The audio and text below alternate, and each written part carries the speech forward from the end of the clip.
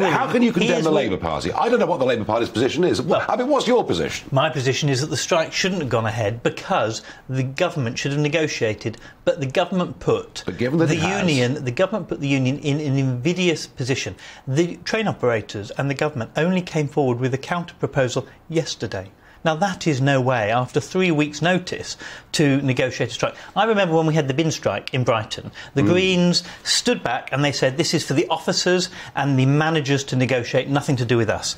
And in the end, it required us and the Conservatives to mm. force the Greens to get round the table, get a mediator in, and that's how we stop the bin strikes. You stop it through negotiation with political But the and Labour politicians. Party position and the on this- Conservatives are refusing to get round the Well, table, and well, it might take well, us to force them to There's a lot the of criticism of the Conservative Party, but I have no idea what your party's policy Our view is that I've no idea. our view is that the Conservatives, just like when No, the no, Greens, no, should What's get your- round the table What's your and they should do negotiate you a deal support, do you like as a party, Wales. Do you as a party mm-hmm. support people going on strike tomorrow? Well, I think they have been left with no other choice. I would prefer So that they. I uh, I would prefer that they didn't. But at the moment, the government refusing to negotiate means that that, that that without any other choices, they are, of course, inevitable. That is a real shame. So I will support them. Of course, I will support those individual workers right. who are making Okay, that no, difficult choice. that. But I want it to end as soon as possible, and that's how you negotiate. The government is going to try to stop wage inflation. I mm-hmm. mentioned the 1970s in my talk in earlier. It didn't really matter whether it was Wilson or mm-hmm. Heath in office.